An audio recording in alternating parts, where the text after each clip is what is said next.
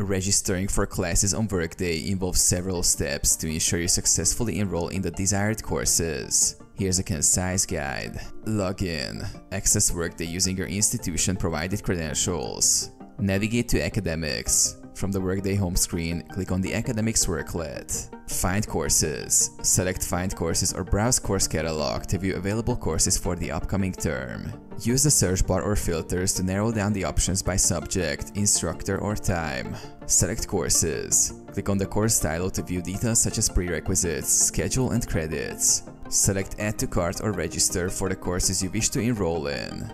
Review course selections. Go to your course card or registration card to review the selected courses. Make any necessary adjustments by adding or removing courses. Submit registration. Click Submit or Register to finalize your course selections. Confirm your choices when prompted to ensure they are correct. Confirmation. After submission, you should receive a confirmation message or email indicating successful registration. Check your schedule in the My Schedule section to verify your enrollment.